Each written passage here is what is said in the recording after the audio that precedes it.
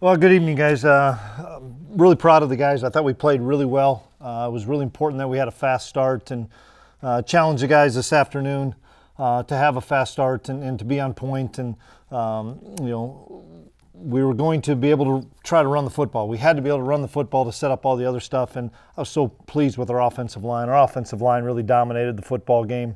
Uh, being able to take it and that's what we'd like to be able to do. I mean, it was a seven, eight minute drive for a touchdown uh, to start us off, and then AJ Parker makes a, a big time play and uh, gets us a short field, and, and then it kind of snowballed on them a little bit and got a good lead. That's a good football team we, we beat today. Got a tremendous amount of respect for uh, Nicholls, and, and uh, they're going to do some good things this year. I thought they did a great job of, of jumping out on us in the second half. They took the momentum back from us, and uh, and then our guys settled in and and uh, played a really good second half. And um, you know, a lot of good things we saw. Uh, but uh, I challenge our guys in there. You know, let's not be complacent. Let's not uh, get too excited about just one. We've got to continue to stack great days on top of great days this next week uh, and get ready for our next opportunity. But uh, excited for the guys and excited for our staff to. Um, you know, get this first one started. It was a lot of nervous energy, and nobody knows where they're supposed to be on pregame and stuff. I mean, this this first week was kind of a uh, a circus, and, and I'm glad it's over. Uh, great performance. He's a stud. He's a winner. Um, and uh, I was so pleased with how he commanded the offense, uh, how poised he was. You know, he'd get flushed out of the pocket and, and, and throw strikes. Uh, didn't get fr- uh, frustrated when we had a couple balls I think maybe could have been caught. And uh, I'm, I'm, telling you, that, that kid's got that it factor. And so excited for him to be able to have that kind of performance and, and leading our team such a complete performance. What are you happiest about right now? It's over.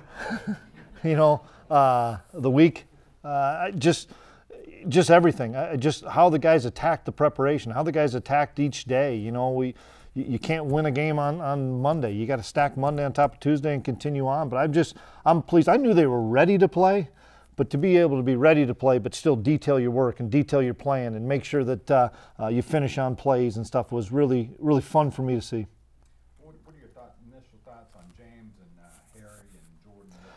I was really pleased that we were able to get uh, a lot of guys carries, um, and you're running behind that offensive line that uh, was blowing holes open and, and, doing a great job.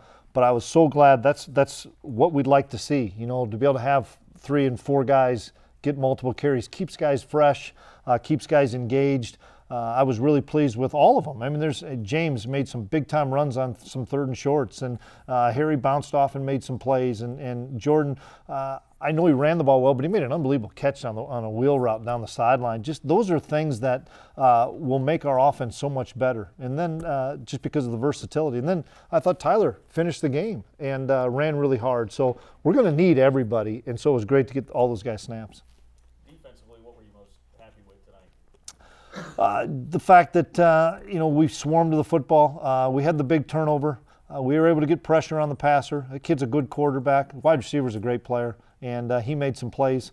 Um, but uh, you know, I just was pleased overall. You give up 14 points, and and um, you know, the last seven. Uh, they did some good things against uh, some of our younger players, um, but I was just I was just pleased at the effort and the fact there weren't any mental mistakes. You know, they made some plays, and offense is always going to do that, but I didn't think we made any mental errors. You mentioned playing a number of running backs, but really across the board, it seemed like you got a lot of guys in. Did you feel happy with how many? Yeah, I was really pleased that we were able to get the last defensive touchdown allowed us to just substitute everybody, um, and so we were able to get all the offensive linemen in, took all those guys out, tight ends, fullbacks, all the backs. You know, played two uh, two quarterbacks in the fourth quarter. We wanted to do that, and then defensively, um, we had to shift some guys around.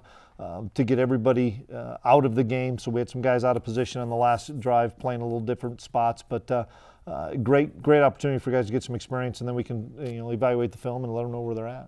Without looking at film, can you get into any specifics as to how the offensive line played? Just from the naked eye, I, I thought it was really good. I, I, know one thing, and I'm standing at the line of scrimmage, and it's moving the other the other direction, and they have some pretty good defensive linemen, and, and uh, they're going to win a lot of games, and, and they played hard, I thought, and I just thought, especially once we started establishing some of our power stuff, so, some of our gap scheme, and, and you know the one touchdown that that James had, uh, we had a uh, uh, a pass play called, and that's the sign of growth I saw from Skylar. Is he didn't he saw pressure, didn't panic, got us into a check for us to run the football against that pressure, and uh, that that showed me an awful lot about where he's where he's taking his game and understanding our system, and, and James was able to pop it. So I thought our O line played really well. Just how eager already did you sense Skylar was to get out there and play after all the? Obviously he was they all were you know it just when you when you have that many practices and we have three weeks of camp uh, um, and then you had you know we worked on nicholls for two weeks and i'm glad we worked on nicholls for two weeks because they did a lot of different things defensively you know from three down to four down to under to oki did all these different fronts that uh, i thought um, Skylar played really well and was calm of coming over and saying, "Here's what I'm seeing," and uh, I, I, thought uh, he managed the game really well. You talked about all that nervous energy, but just two penalties, no turnovers. I mean, you have to be pleased with the discipline.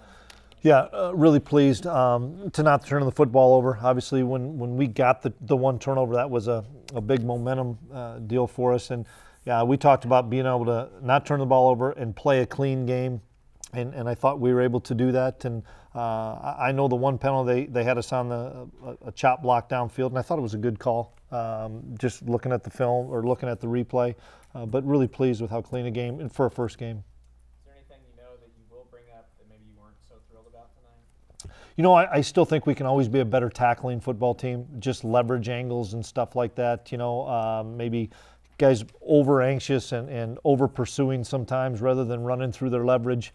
Uh, that would be one thing I, I, would say that we'll continue to work on. But in the same respect, when guys are running to the football, you, you can kind of eliminate some of those explosive plays. strange question.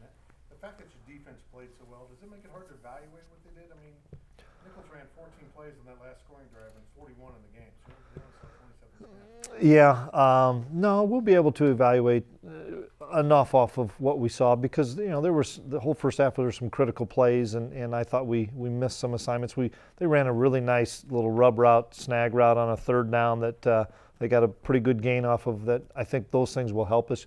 We need to continue to, to learn from the film, uh, but we need to continue to improve. Uh, on a daily basis of us going against our offense some and that's something that you got to have a fine line of do you do all scout team work and stuff? We still need to go k-state versus k-state good on good so that uh, um, we get we can challenge each other especially on the outside with wideouts and corners. Coach with so many moving parts uh, in this offense especially tonight so many guys coming in how important was it especially for these these running backs coming in three run, transfer running backs? Yeah. Establish some sort of rhythm for themselves um, at least in uh, you know the rotation of things yeah, I thought Coach Anderson, BA, did a great job of, of mixing in and getting them in uh, by series, and then a kid would get two or three carries in a row. Uh, but also getting a guy in like we wanted Jordan in on the wheel route because we think he's got really good hands, uh, and and all the, uh, all those kids. You get you're right. You have three transfers there, all really unselfish guys, and all uh, playing for the name on the front of the jersey, not the name on the back of the jersey. And it was really important for those guys to, you know, see each other have success. And, and they know we told every one of them this is how we do things. And you know, it's it's the amount of touches is one thing, but it's the quality of touches and, and the fact that we're going to keep you fresh. A couple guys that seem to make plays defensively, Jahron McPherson at, at safety, and also Jonathan Alexander that play that he had. Just your thoughts on what they did. Yeah, I thought J Mac played really well. Uh, just seeing some plays, running through some context up. I didn't see the the Jonathan play. I didn't see it on on video, uh, but uh, I don't know if he stripped it as well as I know he took it in for for a score. But uh, Jonathan has the big play capabilities. You know, he's a long, athletic safety that can really run, and, uh, and he's an aggressive guy. And and so we rotated he and Wayne and Denzel. Uh, for the most part, but to your guys' point, 41 snaps. I don't know how many snaps you're going to play, um, but uh, we're excited about where Jonathan's at. We've got to continue that rotation. Obviously, you guys want to enjoy this one, but you talk about stacking good day upon good day. How excited does this performance make you for next week and seeing if you guys can do it again? Well, I think the routine will help us now that we're in school. We had a normal routine last week. We'll get back to that routine. The guys know now here's what practice is going to be. Here's what it's going to be on Monday. Here's what it's going to be Tuesday, Wednesday, Thursday. Here's the pregame routine. That's what we need to get into a rhythm of, and um, I, I'm excited because the guys know it now.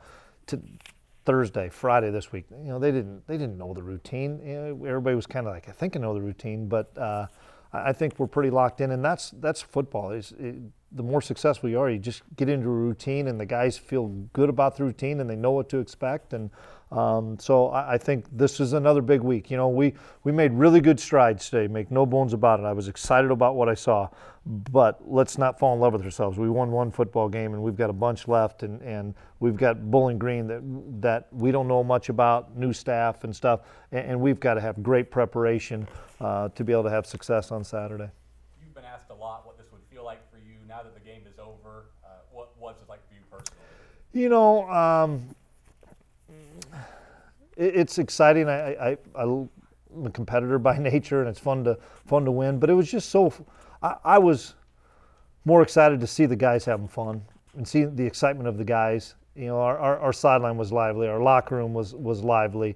They were loose before the game, and um, I, I was excited for for those guys. I, I was excited for our staff, and um, me personally, you know, uh, I, I'm blessed to have uh, Gene as my boss and give me the opportunity to be here.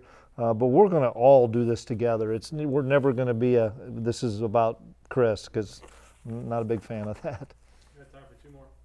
Uh, you mentioned just how pleased you were with how locked in your team was. I didn't know if at all, did you address with them just how tough a few of the games earlier for the Big 12 teams were with James Madison playing uh, West Virginia so close, KU needing a late kind of touchdown, then of course triple overtime game for Iowa State against Northern Iowa. Did that at all help you, or did you not even look? I don't know if the guys knew it. I knew it, but goes back to all the conversations that we've had in the media in here. I don't think there's a big difference, guys.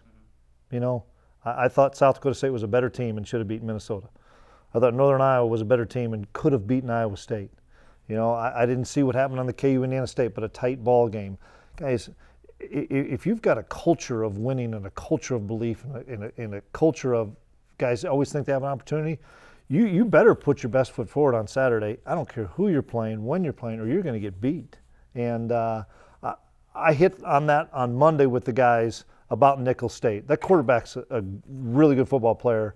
And once we got through of this is Nickel, now we focused on okay, guys, here's the task at hand. We've got to make sure and be ready to play with our game plans. But the level of play is not as big a difference as some people might want to think.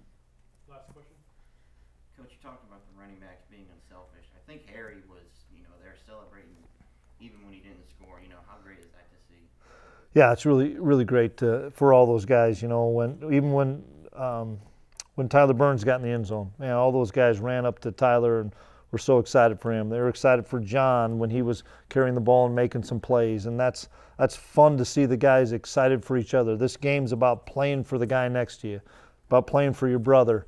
And uh, if we continue to do that, continue uh, to be a close knit group of guys, um, continue continue to challenge each other, continue to love each other. If we continue to do that, we can do some really good things. All right, appreciate it. Thanks, guys. Thank you.